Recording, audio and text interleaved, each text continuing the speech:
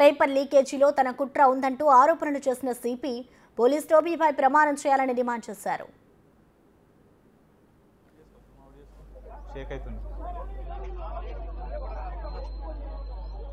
సిపిని ప్రమాణం చేయమంటున్నా కదా ఫస్ట్ ప్రమాణం చేయి నేను కుట్ర చేసినా లీకేజ్లో నా హస్తం ఉందా? మాల్ ప్రాక్టీస్లో నా హస్తం ఉందా? దీంతో నాకేమైనా సంబంధం ఉందా? నువ్వు ముంగట టోపీ పెట్టి మూడు సినిమాలు ప్రమాణం చేయండి ఫస్ట్ ఏది సెల్ ఫోన్ ఎవరు అడిగినాను సెల్ ఫోన్ సెల్ ఫోన్ ఇవ్వాలి సెల్ ఫోన్ ఉన్నది మీ దగ్గరనే. మొన్న నుంచి మొత్తుకుంటున్నా సెల్ ఫోన్ తీసుకెళ్ళని చెప్పి. మా పిఏ ప్రవీణ్ రావు ఏం చేసిండు? సిఏ గారికి ఫోన్ చేసిండు. సిఏ గారికి ఫోన్ చేసిండు. సెల్ ఫోన్ ఉందా సార్ చెప్పండి. ఆ ఏసీ ఏసీ గారు ఫోన్ చేశారు పెట్రోల్ బంక్లో పోయి చెక్ చేసినాం. సెల్ ఫోన్ ఎందుకు అంటున్నా? సెల్ ఫోన్ ఎందుకు? సెల్ ఫోన్ దానికి ఏం అవసరం?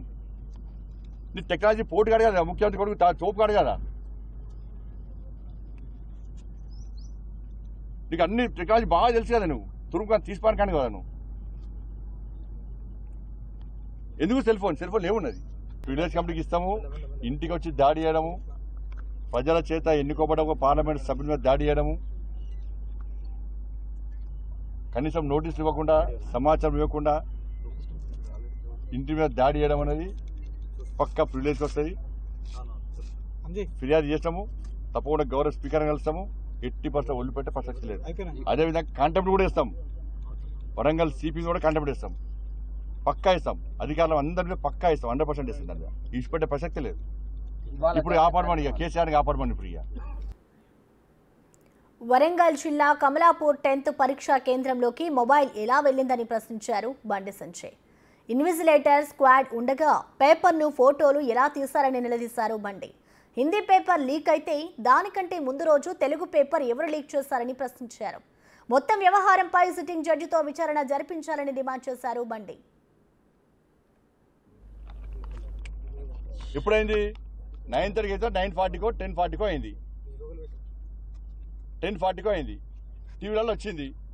నాకే సంబంధం ఉంటుంది? అసలు మొబైల్ లోపలికి ఎట్ట దాని మీద విచారణ జరుపు ఫస్ట్ లోపలికి ఇన్యులేటర్ ఉండగా స్క్వాడ్ ఉండగా పోలీస్ ఉండగా లోపలికి మొబైల్ ఎట్లా పోయింది ఎవరు తీసుకుపోయారు పేపర్ ఎట్లా వచ్చింది అది గ్రూప్లో ఆ ఎస్ఎస్సి గ్రూప్ అది పోయిందట. నేను వాళ్ళు చెప్తారు కదా ఎట్లా పోయింది? ఈ ఎస్ఎస్ గ్రూప్లో పోయింది లేదట మొబైల్లో ఫోటో తీసింది లేదట పైకి పోయి ఈ తతంగం అంతా నడిపింది లేదట ఇప్పుడు విలేకరి మీడియా గ్రూప్ పెడితే తప్పట.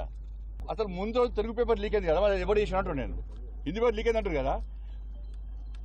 ముందు రోజు తెలుగు పేపర్ లీక్ అయింది మరి. అసలు కుట్ర చేశారు నీ అయ్య చేసిన తాత చేసిండా? లేకపోతే పాకిస్తాన్ చేసిన బంగ్లాదేశ్ చేసిన. దాన్ని ఎందుకు విచారణ చెప్తలేవు జరుపు దాన్ని కూడా జరుపు. అందుకే అన్ని సిటీ చేస్తూ జరుపు నువ్వు.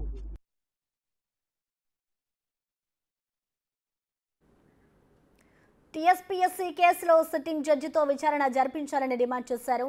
తెలంగాణ బీజేపీ అధ్యక్షుడు బండి సంజయ్. పేపర్ లీక్తో ముప్పై లక్షల మంది యువత భవిష్యత్తు నాశనమైందన్నారు బండి.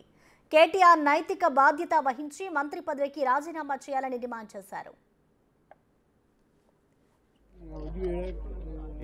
రాష్ట్ర ప్రభుత్వము సిట్టింగ్ జడ్జ్తో విచారణ జరపాలి.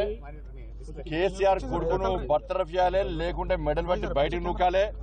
దీని బాధ్యత వహించి నష్టపోయినటువంటి ఆ యువత అందరు కూడా లక్ష రూపాయల వృత్తి వెంటనే రాష్ట్ర ప్రభుత్వం ప్రకటించాలి. ఈ మూడు డిమాండ్స్ పక్కా చేయాలి చేసి తీరాలి. నువ్వు జిమ్మిక్కులు చేసి ఏదో నీ కొడుకుని కాపాడడం కోసం ఇష్యూ డైవర్ట్ చేస్తా అంటే డైవర్ట్ అయ్యే పరిస్థితి తెలంగాణ లేదు. అటువంటి ప్రజలే తెలంగాణ ప్రజలు కాదన్న విషయాన్ని రాష్ట్ర ముఖ్యమంత్రి ముఖ్యమంత్రి కుటుంబం గుర్తుంచుకోవాలి. అరే ఏడవన్నాడే ముఖ్యమంత్రి నాకు అర్థం కాదు ఏడున్నాడు? గింద ముప్పై లక్షల మంది భవిష్యత్తు నాశనం అయితే ముఖ్యమంత్రి మరి అక్కడ ఎవడో మహారాష్ట్ర కట్టడానికి కడగొస్తాడని ఎందుకు స్పందించా ముఖ్యమంత్రి ఎందుకు స్పందిస్తలేడు? ఎన్ని రోజులు తాగి ఉంటాడు ముఖ్యమంత్రి ఇంకా? ముప్పై లక్షల మంది భవిష్యత్తు నాశనం అవుతుంది సార్. రా సార్. ఆ గడ్డ నుంచి బయటికి రా సార్. లీకేజ్ విషయంలో రాష్ట్ర ప్రభుత్వము సిట్టింగ్ జడ్జ్తో విచారణ జరపాలి. కేసీఆర్ కొడుకును బర్తరఫ్ చేయాలి లేకుంటే మెడల్ బట్టి బయటకు నూకాలి. దీని బాధ్యత వహించి నష్టపోయినటువంటి ఆ యువత అందరు కూడా లక్ష రూపాయల వృత్తి వెంటనే రాష్ట్ర ప్రభుత్వం ప్రకటించాలి. ఈ మూడు డిమాండ్స్ పక్కా చేయాలి చేసి తిరాలి. నువ్వు జిమ్మిక్కులు చేసి ఏదో నీ కొడుకుని కాపాడడం కోసం ఇష్యూ డైవర్ట్ చేస్తా అంటే డైవర్ట్ అయ్యే పరిస్థితి తెలంగాణ లేదు. అటువంటి ప్రజలే తెలంగాణ ప్రజలు కాదన్న విషయాన్ని రాష్ట్ర ముఖ్యమంత్రి ముఖ్యమంత్రి కుటుంబం గుర్తుంచుకోవాలి. మరి ఏడవన్నాడే ముఖ్యమంత్రి? నాకు అర్థం కాదు ఏడున్నాడు?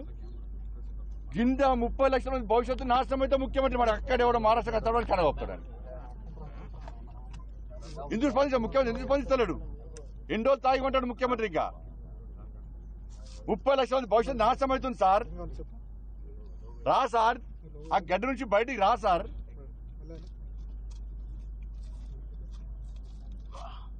నీకు ఎన్ని రోజులు లాక్డౌన్ సార్ నీకు ఇంకా? ఎన్ని రోజులు సార్ ఎన్ని రోజులు సార్ ఇంకా నువ్వు? ఎన్ని రోజులు రెస్ట్ తీసుకుంటావు సార్? ఎన్ని రోజులు విలాసవంతమైన జీవితం గడుపుతావు సార్ నువ్వు? తెలంగాణ ప్రజల భవిష్యత్తు నాశనం అవుతుంది సార్ నీకు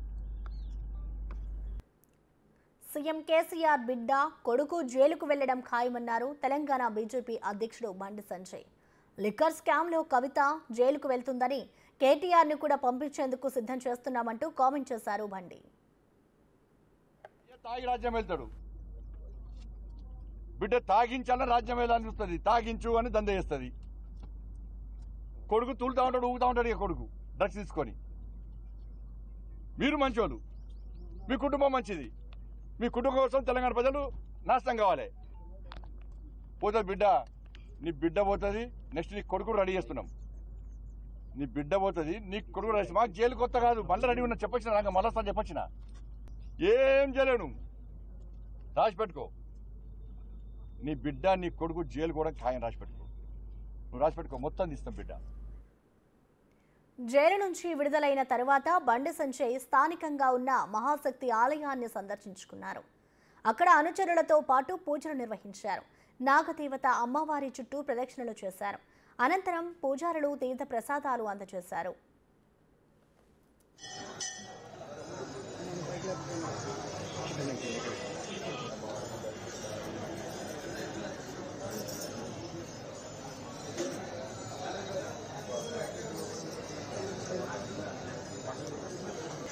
మహాశక్తి ఆలయంలో బండి పూజలు.